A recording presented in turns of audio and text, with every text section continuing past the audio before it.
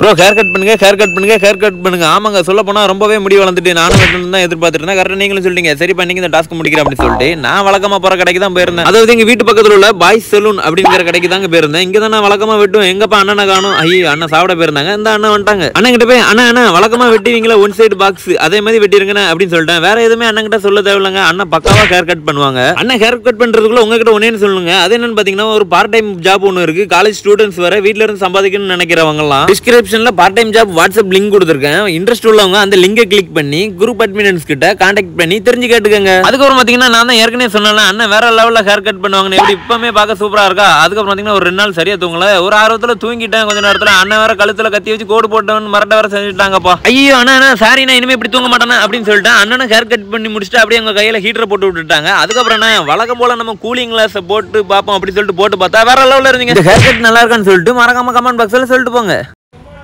அப்படியே அடுத்து என்ன பண்ணணும்னு சொல்லிட்டு மறக்காம கமெண்ட் பாக்ஸில் சொல்லிட்டு போயிருங்க ஃப்ரெண்ட்ஸ்